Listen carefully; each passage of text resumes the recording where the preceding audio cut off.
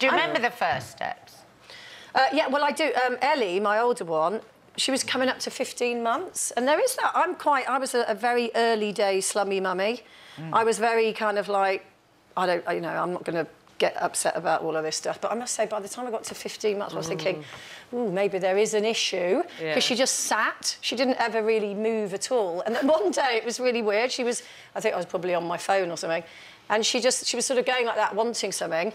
And I wasn't paying any attention. And she just stood up and walked and got it from, from literally just sitting there. She obviously just thought, oh, God, I better start walking. so that was it. It's hard not I to missed... be affected, though, isn't it? You know, by other mums yeah, around you. Yeah. I mean, it doesn't bother me now, but at the time, you know, you would look at Especially other kids. first baby. Yeah, I mean, there was a there was somebody in our family who apparently, still don't believe it, walked at 10 months.